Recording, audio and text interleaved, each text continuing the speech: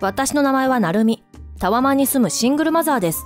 私は小さい頃から変な人に絡まれやすい体質で、そのせいか思ったことはすぐに言うサバサバとした性格になりました。最近引き取ったシベリアンハスキーのチカとの生活がスタートしました。それを機に彼氏との同棲もスタート。家の近くにあるドッグランに遊びに行ったんだけど、そこでまさかの事件が。いきなり水をぶっかけるってどういうこと？あらあら、水をかけられてすぐに逃げ帰ったなるみさんじゃない。そりゃね、いくら昼間でも最近は冷え込むし着替えないと。あなたは犬を飼う人間としては失格なんじゃない？なんでいきなり水をかけてきたの？大型犬ってそれなりに運動量が必要なのにたった30分で帰るとか？ワンちゃんがすごくかわいそう。私の話聞いてた？服を着替えたらまた戻るつもりだけど。また水をかけられたらたまらない。なるみさんって本当に世間知らずなのね。私が何でも教えてあげる。いきなり水をぶっかけるような非常識な人に世間知らずとか言われたくない。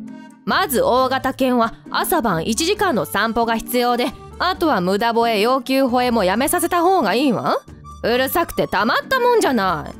ただでさえ大きな犬種って怖がられてるのにあんなに吠えてたらね。私が聞いてるのは犬の飼い方じゃなくて水をかけた理由なんだけど。あと朝晩1時間半の散歩してる。それからチカはすごくいい子だから基本的に吠えない。楽しすぎてテンションが上がったらまだ吠えることもあるけど今日チカが吠えたのはあなたが私に水をかけたから。あんなにギャンギャン吠えて他のワンちゃんと仲良くできるとは思えない。噛まれて大怪我すると思ったもん。あなたが来るまではみんなと友好的に遊んでたの。あなたが水をかけるから私を守ろうと怒っただけ。犬がそんな賢いわけないでしょ。は？犬と意思疎通がなんて思い込みも甚だしい映画の中の話じゃなくてここは現実なんだから。あなたみたいにしつけをちゃんとできてないとそうだろうね。なんですって？いろんな犬にマウンティングキャンキャン吠えて甘噛みしまくり。名前を呼んでも反応しないし小型犬だからってみんなが多めに見てくれてるだけ。ちゃんとしつけてあげないとかわいそう。これだから犬のしつけができてない人間は自分のしつけもできてないのね。じゃあ次は私の質問に答えてもらう。なんで水をかけたの？あなたドッグランでのルール知らないの？ルール？うんちをしたらちゃんと取って持ち帰る。トイレをしたら水をかけて匂いを消す。私はちゃんとしてた。うんちだって全部取ったしマイペットボトルで水を持参してうんちが草に残ってた。はい？あなたうんち取ったって言ったけど普通に草の上に残ってたから。困るのよね。ちゃんときれいに取ってもらわないと。出たよ言いがかり。は？他のママさんから聞いてたんだよ。あなたそうやって初めて来た人をいびるって。いつも同じ内容でイチャモンつけてるみたいだね。違うわよ。私はちゃんとみんなを統率してあげようと思って。間違ってることを間違ってるって伝えただけ。あと20分後にはまたそっちに行くから。今後水をかけるなんてことはやめて。それはあなたの態度次第かな。嫌がらせされたくないよね。家から近くて一番広いのがここのドッグランだもん。そこはあなただけの場所じゃない。嫌がらせをされたくなかったら一つだけ私のお願い聞いて心配しなくても難しいものじゃないから。嫌な予感しかしないけどとりあえず聞くだけ聞く。私の旦那が昇格できるようにしてほしい。とも子さんの旦那さん？なるみさんは大手企業で働いてる役職者。部署は違うだろうけど実は先月私の旦那もその会社に転職したの。それで？入ってすぐに成績を上げるっていうのは厳しいでしょ？けどやっぱり私ボーナスとかお給料は多い方がいいからな？るみさんのコネで一気に役職者まで上げてほしい。会社は遊び場じゃない。成績を伸ばせばおのずと立場は上がってくる。私は今すぐお給料上げてほしい。実はね最近私のお気に入りのブランドで新作のネックレスが発売されてそれを買ってほしいんだけど。私が要求飲めないなら嫌がらせを続けるってこと？そうなるわね残念だけど。これから犬関係の集まりとか困ることも増えるだろうし。私の助けが絶対必要なんじゃない？結構です。は？間に合ってます。自分で対処しますから。今回は水で済んだけどそのうち火でも投げつけるかも？そんなことをしたらあなた警察に捕まるけどつべこべ言わずに旦那の昇格を手伝え！ちょっと口利きしてくれるだけでいいからもし断ったら次はあなたの大切な犬を痛めつけちゃおっかな？犬って走り回ったりするからどこで骨が折れても気づかないじゃない？旦那さんに今の全部報告した。え？だからあなたが言ってることや私に水をかけたこと全部報告したから。ちょちょ待ってよ。なんでいきなり旦那に報告するの？まだ私何もしてないじゃん。水をかけたことをもう忘れたわけ？呆れるわ。水をかけるのが何だっていうのよ。乾かせばいいだけだし。この時期に水をかぶったら風邪をひくとか考えないの？大体なんで旦那と連絡取り合ってんのよこの浮気女。私の旦那に手を出したのね。妄想が広がる人だね。あなた旦那さんの仕事の話ちゃんと聞いてあげてるの？仕事の話なんて聞いてもつまんない。私は楽しい話にしか興味がないの。そうだろうね。旦那さんびっくりしてたから。なんで？だって旦那さんの上司私だよ。え？旦那さんは初出勤の日に私に気づいて挨拶してくれたしその後お家でも私のことを話してたって。そんなの全然覚えてないんだけど。成美さんが上司？でも成美さんは役職者だからそんなすぐ会うことないと思って。同じ部署で働いてるし旦那さんの仕事っぷりは目を引くから。そうなの？さすが私のマイダーリン。何でもできるスーパーマン。なんだ？成美さんの手を借りなくても旦那はそのうち昇格するのか？ならブランド物ののネックレス買ってもらえるわね。それはないんじゃない？どうして水を差すようなこと言うの？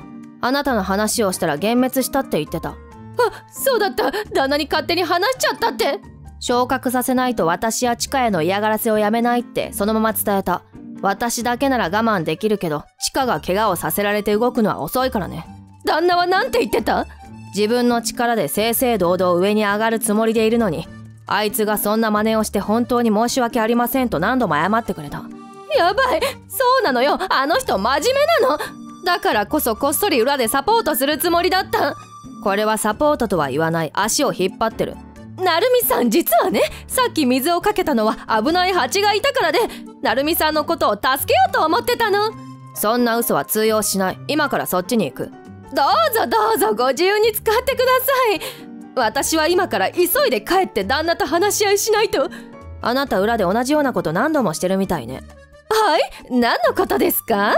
表向きは旦那さんのサポートとか聞こえのいい風に言いながらあなた旦那さんの元上司を酔わせてホテルに連れ込んでその写真で脅したり。えー、っと何のことかな？他にも裏で色々と旦那さんのサポートとやらをやってたみたいだね。それを知って旦那さんすごく怒ってた。なんで成美さんがその話知ってるわけ？私は今までうまくサポートしてきたのに。真剣に頑張ってる人間からしたら迷惑でしかないしムカつくだろうね。しかも一番支えてほしいはずの妻がそんなことをしてるなんて。成美さんちょっとこの後時間ある？ゆっくり話さない？なんだか勘違いをしてるみたいだわ。あなたが話し合いをするべきは私じゃなくて旦那さん。あそれとあなたに一言物申したい人がいる。ん？誰？私今それどころじゃなくて旦那と話し合いと言い訳を考えないと。多分すぐ終わると思うからさ。あとあなたとはもう関わらない。LINE もブロックする。ブロックはいくらなんでもひどいじゃない。これからワンちゃんのことゆっくり教えてあげる？気持ち悪い。ヘドが出る。ひどい。あなたに一つだけ感謝してることといえば。何？私に感謝をしてそのまま私を助けてくれてもいいのよ。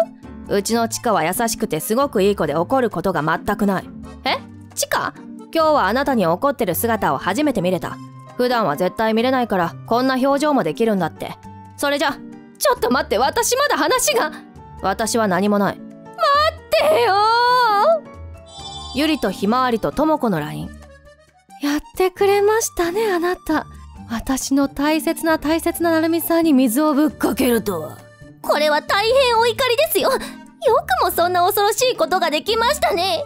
ゆりさんにひまわりさん。あなたたち二人は成美さんと仲がいいよね。はい。なんかいろいろ大変なことになっててちょっと助けてほしいんだけど成美さんに迷惑をかけたあなたを助けるわけなんかないでしょ。ああそれとも地獄へ行くのを手伝ってほしいというお話ですか？違うわよ。旦那から離婚するって言われてるの？何か大きな誤解が生まれてるみたい？大きな誤解とは？旦那がね会社でうまくいくように私が裏で悪さをしてたって思い込んでるみたいで。本当はそんな事実ないのに旦那がもう怒って大変なの家の荷物をまとめてしばらく実家に行くからその間に出て行けって。何が間違いなのですか？全部事実ではないですか。そうですよ。旦那さんのためとか言いながらいろいろひどいことをしてきたんですよね。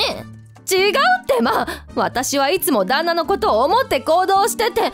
旦那さんのことを思ってではありません。あなたはそれにより給料が増えることを目当てにしている。違うじゃあなぜ旦那さんにとっての幸せが昇格だと思っているんですか？それは男は上の立場に行きたい生き物じゃない。昇格って言えばみんな喜ぶし。旦那さんは自分の力を認められて上に行くことを望んでいます。それを第三者の介入で昇格して本当にそれは旦那さんの幸せですか？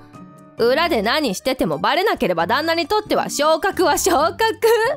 今回のこともうまく隠せば私たち夫婦はうまくやれる。どこまでも救いようのないクズですね。何ですって。成美さんが泳がせてと言うからあなたのことを見張るだけにしていたのに。成美さんが水をかけられた瞬間。あなたのことを後ろから撃ち抜き防音室の部屋で切り刻むところまで想像してしまいました。は？よかったね。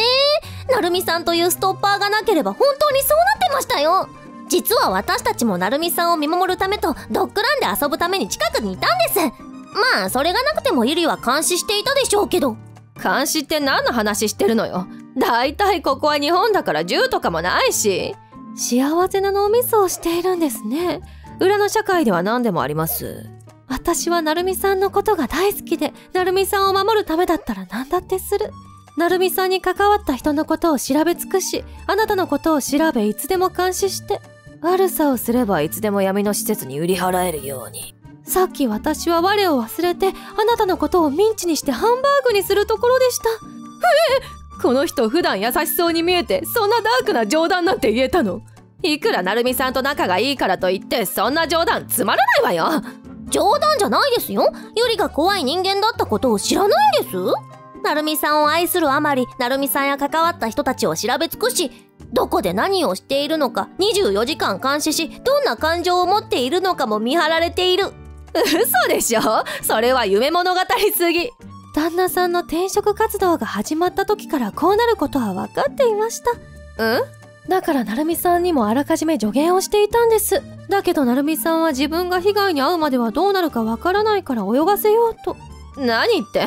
旦那の転職活動は半年以上前から始まってんのよゆりの調査能力を使えばそんなのたやすいことです。ここでドキドキゆりちゃん質問タイム。はい？え？ゆりともこさんの旦那さんの転職活動が始まったのは何日？決心したのが5月24日の15時31分30秒。理由は？上の立場の人たちがあまりにも今後の会社のことを考えていないためいくら方針を変えようと言っても聞く耳持たず上が腐っていると感じたからですねうんうん。じゃあ次実際に転職活動を行い始めたのは？その1ヶ月近く後。6月19日10時9分24秒。この日初めてハローワークに行っています。そんな前から動き出してたの？ハローワークに行ったこと知らなかった？そしてその日の夕方転職サイトへも登録。どこまで知ってんのよ？じゃあ成美さんの会社に入ると思ったのはなんで？志が高く営業成績も悪くなく面接も問題ない旦那さん。それまでの経験知識スキルが活かせる成美さんの会社で欠員が出て募集をかけられた時に高確率でこうなることは分かっていました。そしてそうなればドッグランで新山いびりの常習犯とも子さんが目をつけることも。さすがだね！本当にゆりの情報収集能力にはびっくりするよ！成美さんを守るためにはこれくらい当然です。情報は武器になる。なんか仲良くなれそうね私たち。うん。はい？離婚をやめさせてくれたら私おとなしくするから。成美さんに迷惑をかけないしなんなら成美さんのお手伝い何でもする。チカタンの散歩とかお世話とか。くるっくるの手のひら返し。結構です。成美さんのそばには私とひまわりがいればいい。えー、ゆりってそんなに私のことを認めてくれてたの？出会った当初は私のこと嫌いとか言いながらこの子の。もう私のこと大好きじゃない。最近はアフォーが増えたので一人でさばくよりも効率がいいというだけで。わかるよ。私のことなんだかんだ好きになってるんだよね。私ってよくスルメみたいな人間だなって思うの。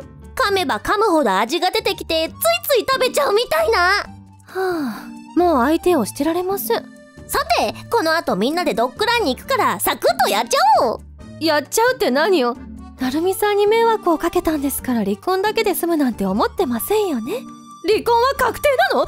絶対に嫌。だってあなたがやってきた悪事を全部旦那様に伝えたんですから。証拠写真映像音声全部ありますよ。そんなお前が犯人か！まあやらかしてるのはとも子さんですけどね。うるさい黙れお前たちのせいで人生めちゃくちゃ。何を可愛らしいことを言っているんですか？ぐちゃぐちゃになるのは今から。なるみさんに迷惑をかけたゴミ虫の分際で生きていけると思うな。だいたい犬のしつけも満足にできないくせに他人にイチャモンをつけるなんて。よりワンちゃんは悪くないよ。アホな飼い主に当たっただけだから助けてあげて。もちろんです。お仕置きはこいつだけ。